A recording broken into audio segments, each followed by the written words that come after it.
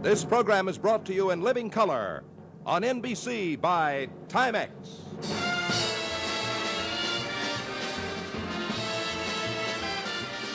Ladies and gentlemen, The Jerry Lewis Show with Jerry's guests, Miss Helen Traubel, Mr. Lionel Hampton, Mr. Gary Lewis, and Master Ronnie Lewis. And now, ladies and gentlemen, here he is, the star of our show, Mr. Jerry Lewis.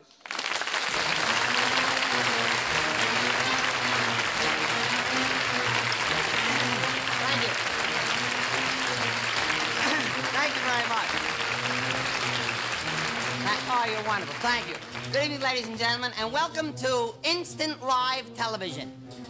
Here it is, right here. This show is not taped, it's not filmed, but this very minute. For those of you uh, that will view it on the West Coast, that will be a later now. You see, with some tape, a little film, some recordings, and a slight dab of delay because of the difference in the time between the two coasts. I must admit, it's better that we do it this way, you see, because it's 8.30 in the east, uh, which is 5.30 here on the coast. And at 5.30 on the coast, people are usually busy on a freeway, coming and going from being lost.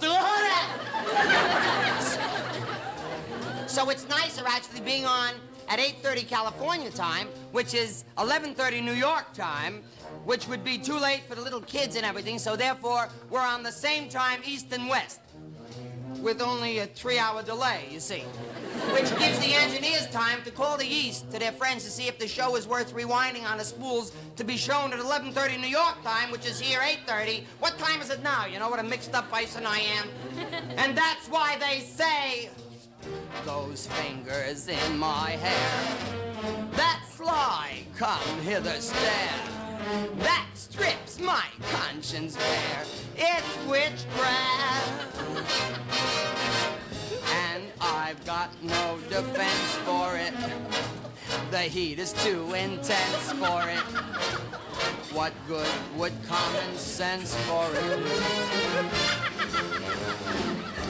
Cause it's witchcraft, wicked witchcraft. And although I know it's strictly taboo, when you arouse the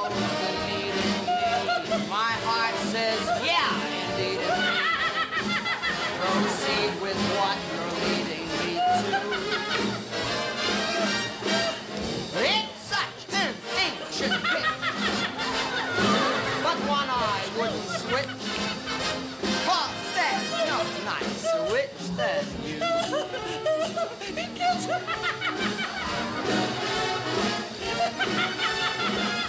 Witchcraft, wicked witchcraft.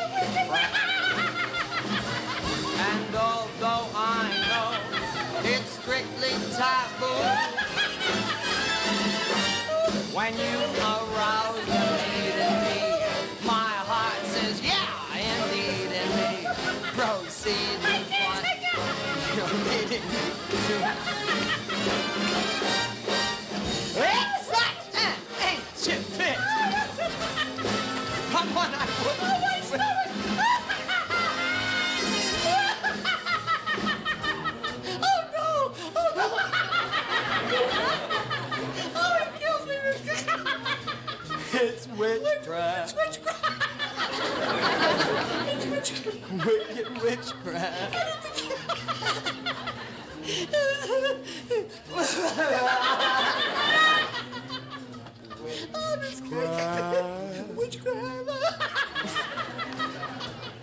Oh,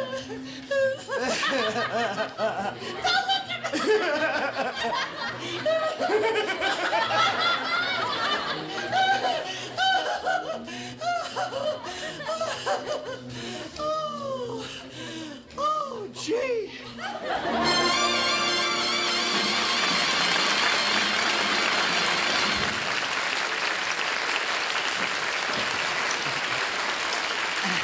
Joey, come here quickly. Joey Fay, ladies and gentlemen, a wonderful performance. Thank you. ah. Oh, boy, it's not easy to do a number that type of way. Uh, but actually, uh, there are various ways doing numbers, ladies and gentlemen. And I, before even mentioning that, it's so nice to see so many people left here in L.A. with the coughing and sneezing going around. But th there is different types of numbers, and rehearsals are most important. And so many people, they look at a show television-wise, and they assume that this is it, you know. And this is live. This is ain't nothing with a machine and a box. This is pure here with sweating and pain, with nervousness. And rehearsals are very, very important. If you'll come this way, I'll show you. You have to work your heart out because unless you get things done, you never can apply it to the to the network. Hello, Nikki. How are you? This is Nick Castle, choreographer, Label, Brown, my piano, Billy Richmond, and Helen Trent. Could I have my stick? I'm gonna do the greatest dance. I work. You work with Gene Kelly? Yes. Yes. Say yes, I did. Yes, I did. Oh yes, and Fred Astaire. Yes, I did. And how long does it take them to learn a number? About three weeks. And mine is going in now to about 11, 11 months. But I got it. I'm ready got to do it. it. He's I've got it. Yes, he's got it. top. Up on the top. Da, da, da, da, da, da.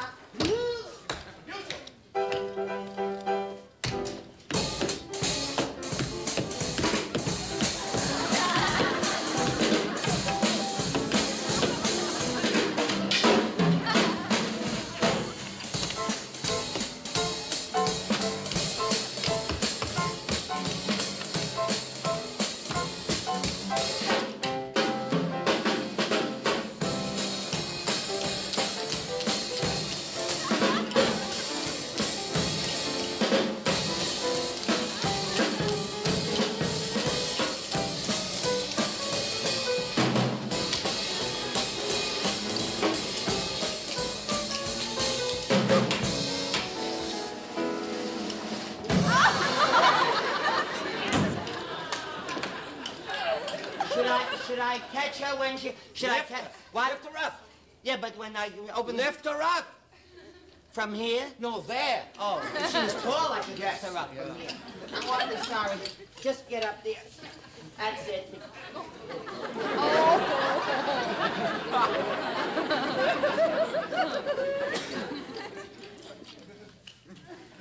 You're gonna stay.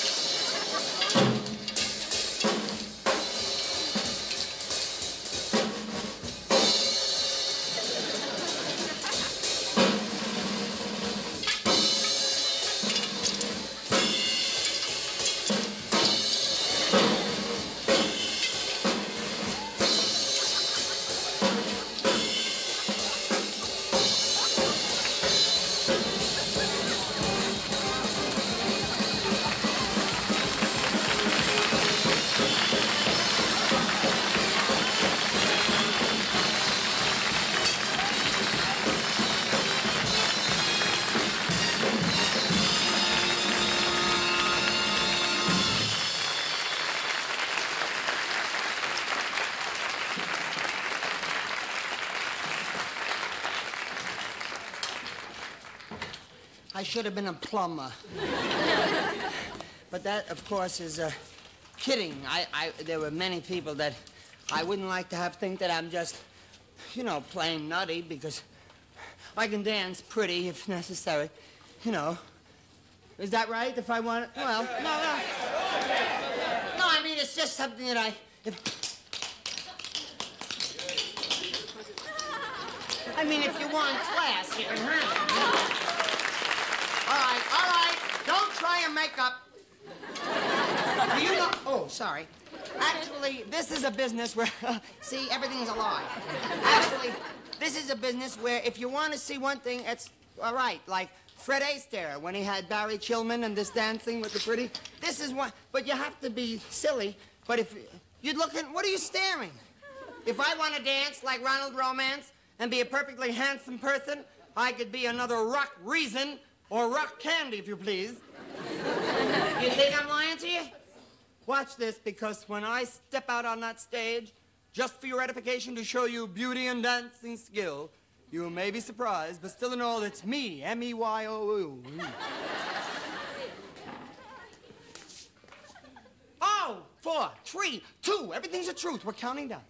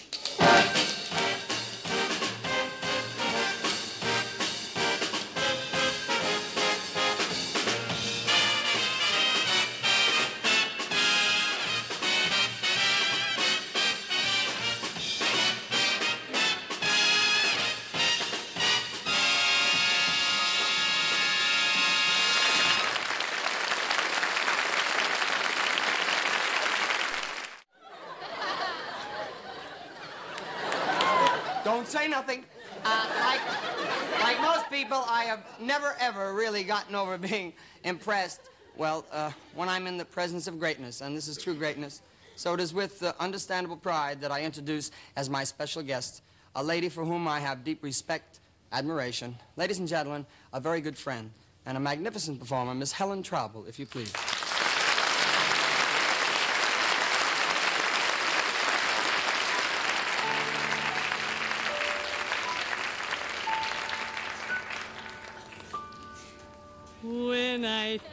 Think of Tom, I think about a night when the earth smelled of summer and the sky was streaked with white. And the soft mist of England lay sleeping on a hill. I remember this, and I always will.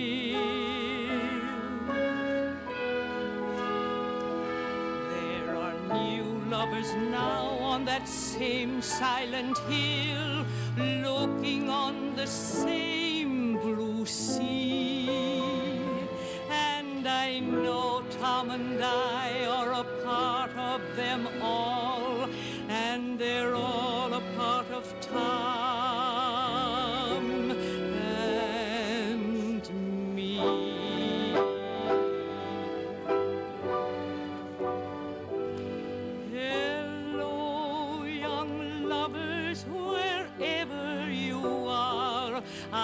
hope your troubles are few.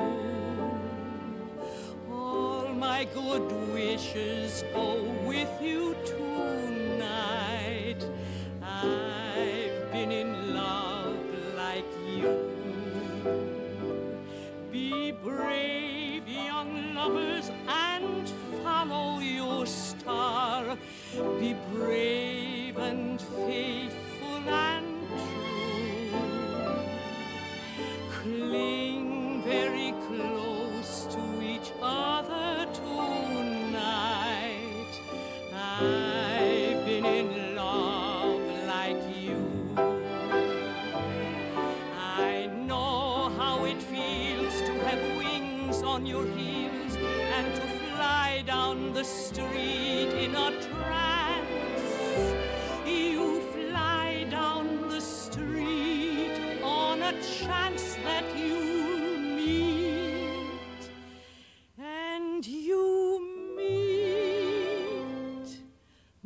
really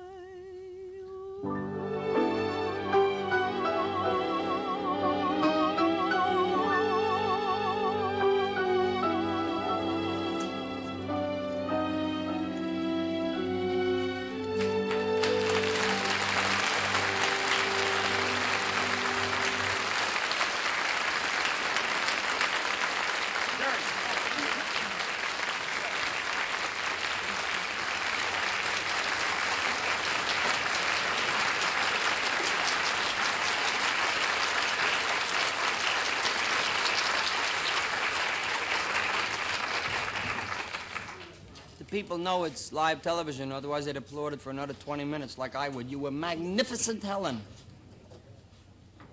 Miss Traubel, I said I thought you was very splendidly.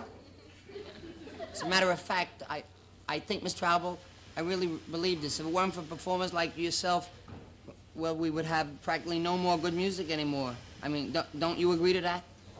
I'm sorry, man, but I gotta put it down. What did you say, Miss Traubel? Come off it, Daddy. That jazz is for the squares. I did the other scene. Oh, really? Well, that's very lovely, but you do sound so pleasing doing those long hair jobs. It's pretty pretty, you know, to do that. Later, Jack. Like, come off it. Let's make a swinging gig out of this. Who's you been hanging out with?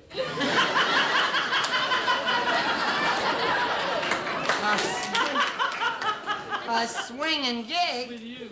Crazy, mama. I didn't know you was one of the members. Well, let's make it like, honey. Go, Pops, go. I'm leaving the scene. I know that someday you'll want me to want you.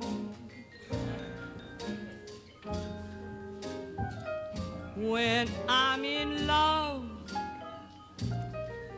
with somebody else.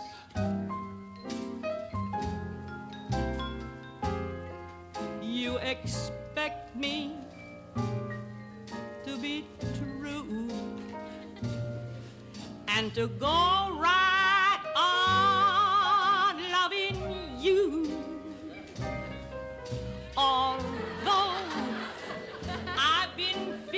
it down.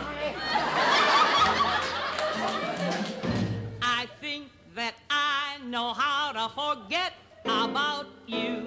I know that someday you're gonna want me. Turn out the lights and call a law. I want home and really want you.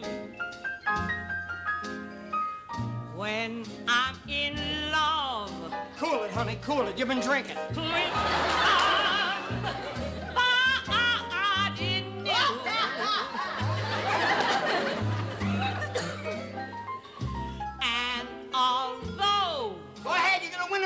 Praise God.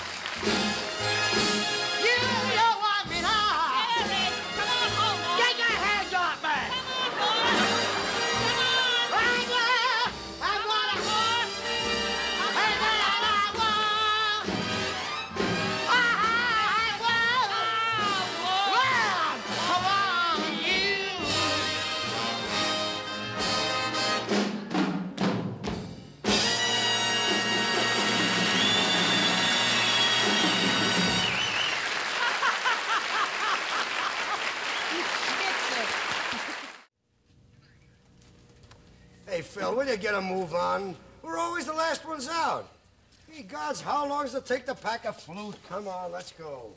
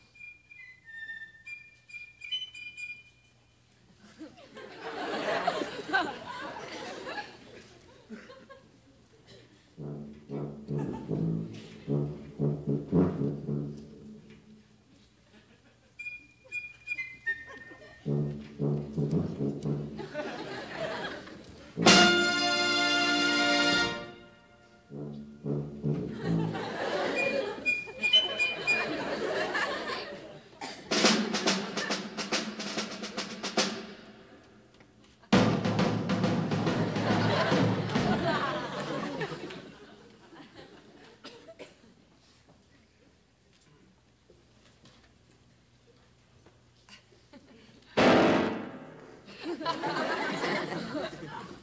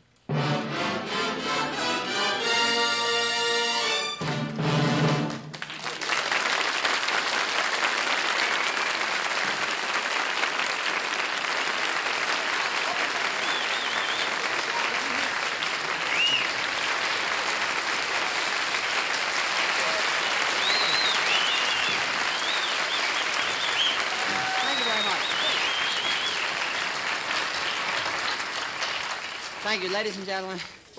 You're very kind. Thank you, and uh, I would like to acknowledge the fact that Mr. Walter Scharf probably outdid himself with music for me, and of course the orchestra.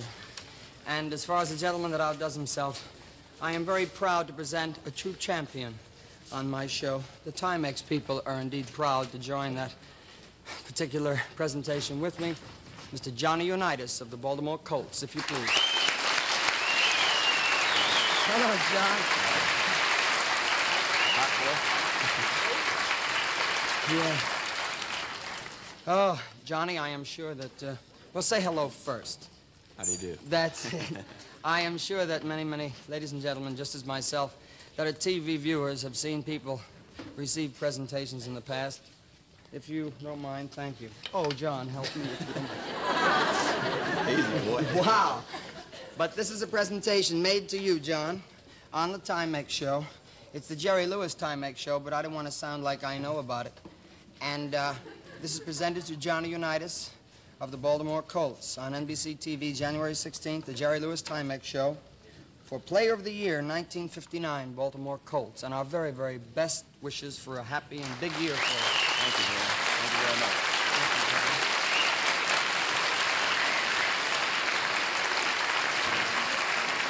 The bigger they are, the nicer they are, in size or in proportion or anything. This is a delightful guy.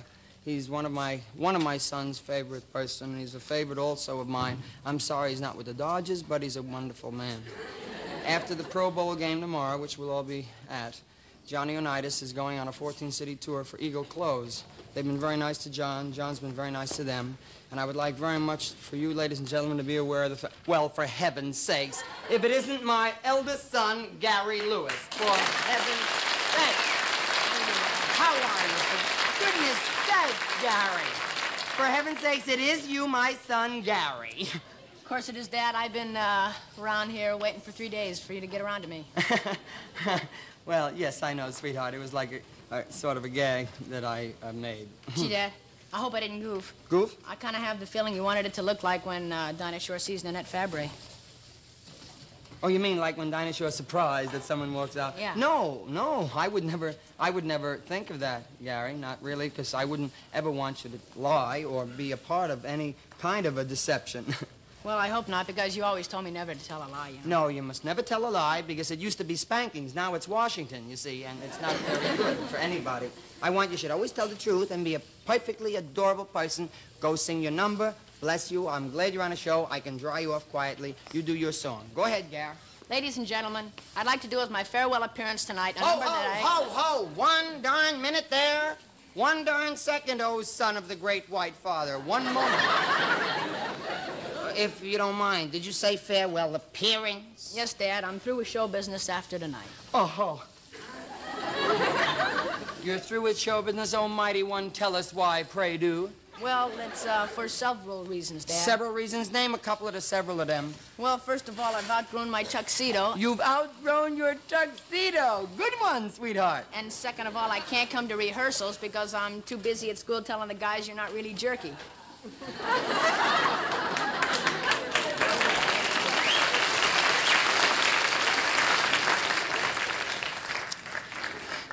He's my boy. I told her so. You know, actually, Would you like the inside of your car done, Sal? let, let me say this, sweetheart. Uh, when you kid about jerky and all that, we have an understanding. But if you're going to retire from show business, what are you going to plan to do now here? Well, if it's all right with you, Dad, I'd like to turn over my makeup, my photographs, and my work permit to one of my kid brothers.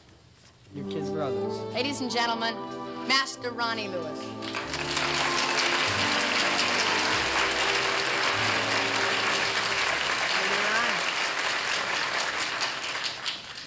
Stand over here, Ron, please. Gary, make room. That's a perfect place. Welcome to the show, sweetheart. Thank you, Dad. It's my financial pleasure to be here.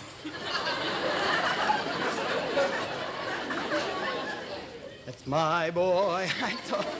It's your financial pleasure. It's good. Did you help him with that joke? That was a very good joke. What are you going to do, Ronnie? Yes, Dad. This number? Poison Ivy? Uh-huh. It's a good number? Yeah. Good number to do Yeah. it. It's a good tune. Yeah. Yeah. Yeah, but it's a good number. No, no, no, it's not very good. May I look for a second? Sure. Measles make you bumpy, mumps will make you lumpy, and chickenpox will make you jump and twitch. You'll need an ocean of calamine. What is it, a prescription you're gonna send? That's not good to do that. Sure, Dad. It's real cool if you do it right. It's real cool if I do it right. You mean it's real cool if you do it right?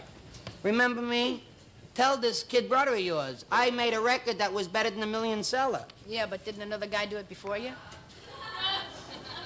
Didn't another guy do it before me? That was. Stand still. That was terrific. Would you like to see those freckles right at the bottom of your navel? Stand quiet. You've been rehearsing him without me? No, good. There'll be a scar on your nose under the neck after. All right? If you feel that you can do this number, sweet, is it a good number? Yeah. It's a good number. Yeah. How's the tune, though? No good. No good. All right. You do the number, you wait, and so will I. Go ahead, Ron.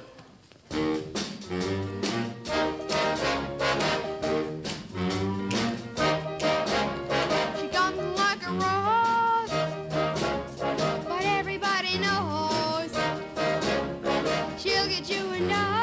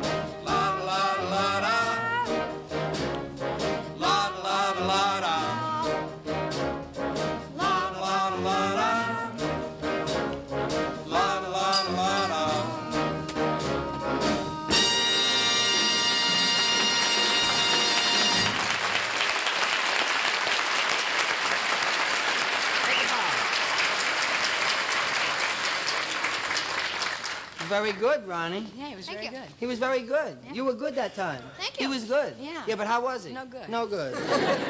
you were very good. We were kidding. Oh, you had lived with a punim, right?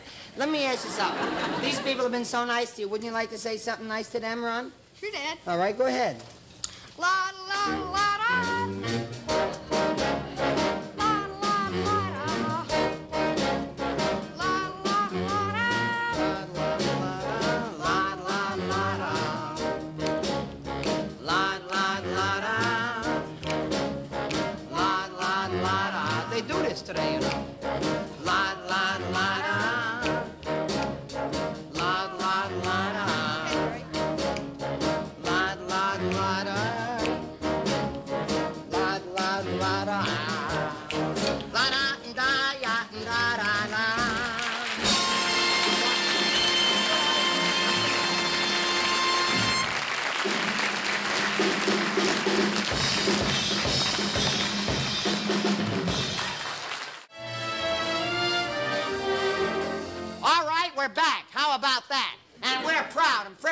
once again present to you something that's odd and different in the way of entertainment factors. you know, over the years, ooh, help me up, I'm all right. Over the years, there have been many bands. Shep Fields, an old friend, had all the woodwinds. Had a great deal of fun with his band. Phil Spitalny had an old girl band. Sure, he had fun with his band. now, there have been many, many bands that have had all of one type band, instrument type audience to watch that out, the band. Repeat that, and anyone gets a $100. The secret word is help. Now,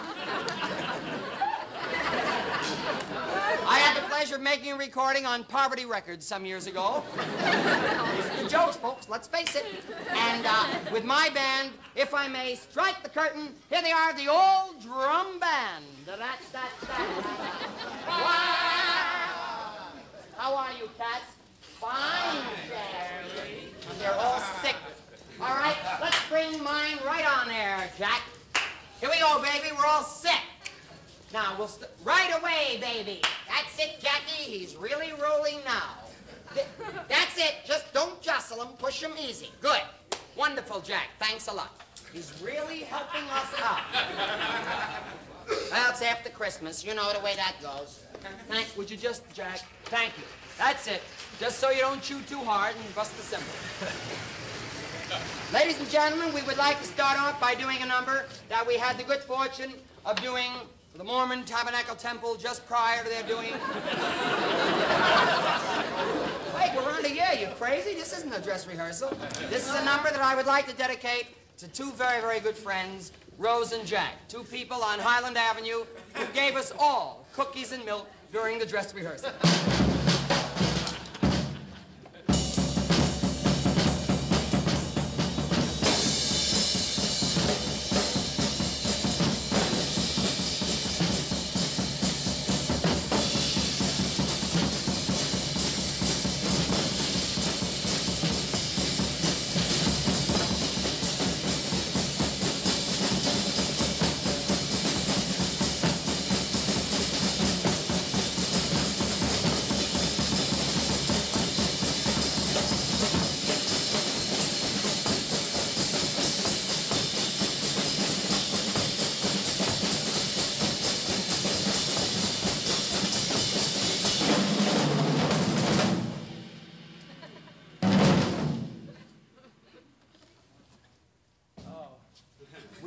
A number that we had the pleasure of recording just three weeks ago, just prior to doing the B'nai B'rith benefit in Newark.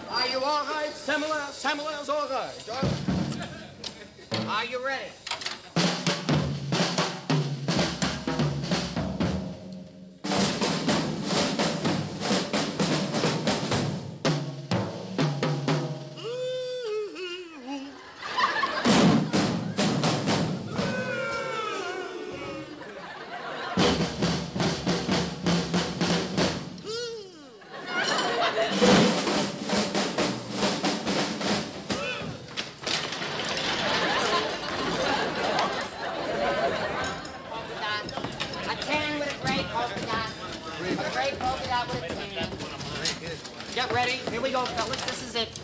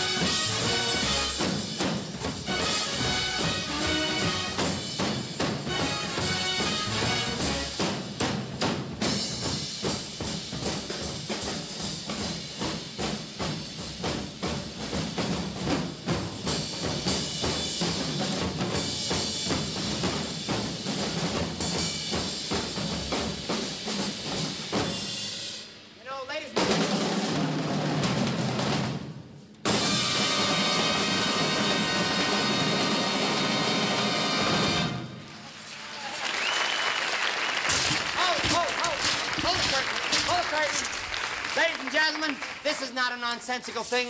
The curtain got caught, and luckily, because we want to introduce the man that made the drums necessary. Thank you very much. Oh, you dropped your seat cover. We'd like to introduce the champ of them all, Mr. Hamp, Lionel Hampton, ladies and gentlemen. Here we go.